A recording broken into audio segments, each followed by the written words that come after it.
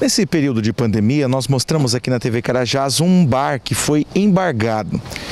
E ontem, quinta-feira, esse bar foi embargado novamente. Vamos conversar com o Fernando da fiscalização aqui de Camporão, Fernando Dias. Fernando, sobre esse bar que foi embargado novamente, qual regularidade a fiscalização encontrou? É, esse estabelecimento ele vem recebendo muitas denúncias em relação à perturbação de sossego. É, anteriormente, a fiscalização já tinha ido no local, já tinha notificado o local em relação a, a providenciar esses ajustes em relação a essa questão da perturbação de sossego. É, esse local ele já tinha sido embargado pela fiscalização por não cumprir determinadas é, é medidas que estavam previstas em decreto. E novamente, depois de mais denúncias aqui na ouvidoria municipal, a fiscalização se dirigiu ao local e teve que fazer o embargo do estabelecimento. Pessoal, entender em casa, esse bar que estar fechado? Esse bar, ele poderia estar funcionando, mas ele assinou uma tag com o município, que é um termo de ajuste de conduta, que ele só poderia retornar com as atividades de música ao vivo após a realização do projeto acústico. Né? Então isso vem incomodando muitos moradores daquela redondeza e cabe a nós da fiscalização, é, quando solicitados, resolver esse tipo de, de perturbação de sossego.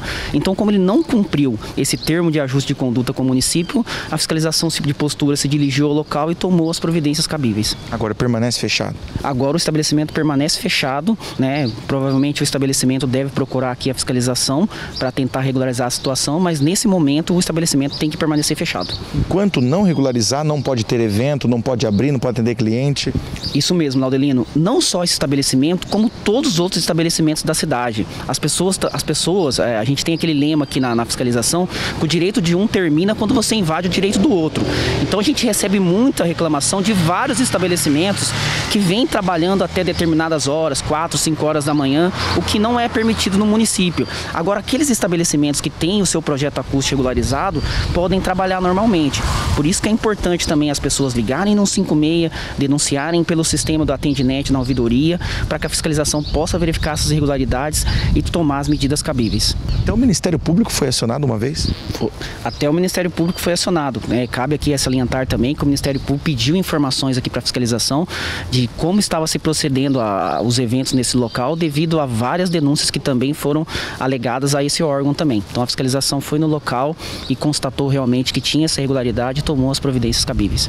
Esse bar então fica localizado no Jardim Santa Cruz. As pessoas que residem ali próximo estavam reclamando perturbação de sossego, é, uma festa que durava ali até duas, três horas da manhã e agora a fiscalização voltou ao estabelecimento e embargou novamente. much.